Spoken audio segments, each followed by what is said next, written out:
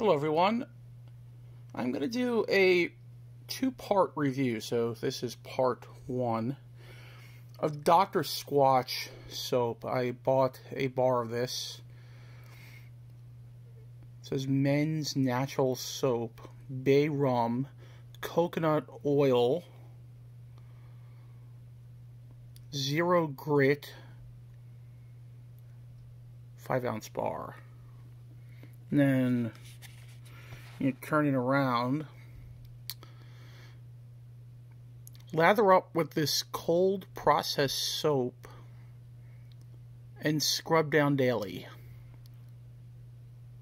Great for all skin types, Dr. Squatch. It just has a little thing here with the ingredients. I'm not going to attempt to read all of it because there's probably words in it that I don't know how to spell, like... Okay, I'll just go for it. Ingredients sponified oils of olive, sustainable palm coconut, shea butter, natural fragrance,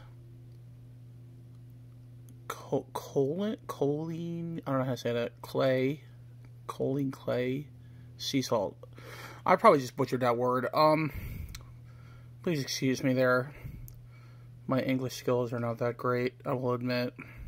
I could read, but not the big words like that. I usually skip ahead when I can, or look it up, or whatever.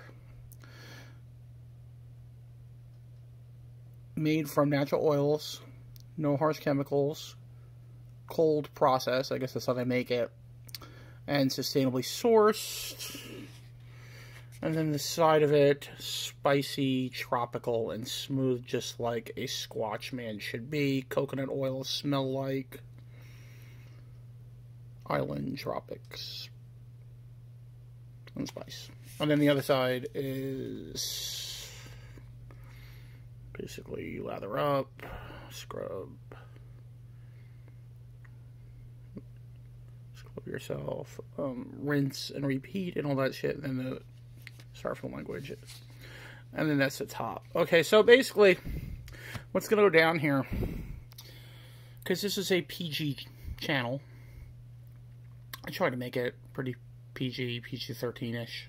Might drop some language sometimes, but I'm to use this bar of soap and then come back later, I don't know exactly when, and make a follow-up video kind of reviewing it. So, over and out, guys, and I will be back for part two. Thank you. And please keep watching and subscribing. And hit the like button. Smash the like button. Whatever you want to do. Please. Please. I really appreciate it. All my followers. Thank you.